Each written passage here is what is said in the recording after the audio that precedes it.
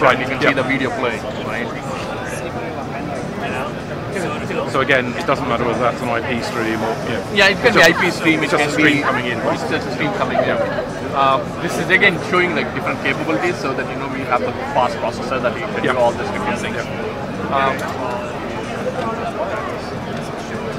if you're not interested in looking at the video stream, you can you can actually look at the picture stream, uh, and you can actually bring this Yeah, that's- kind I of involved, really right? Uh, this is you can scroll through. This is at a glance view of this can be your TV shows. This can be your favorite channel list.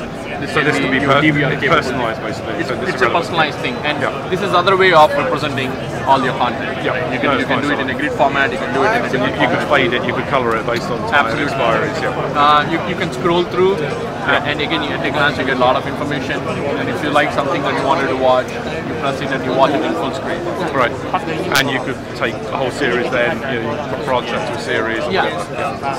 So, I mean, again, we are showing the different capabilities, the graphics capability as well as the processing capability Yeah. of CE3100 using a UI. Right. Um, yeah. At the far end is actually a product developed by Uh, it's Right. a company in Netherlands. Uh, they they use the CE3100 for integrating broadcast,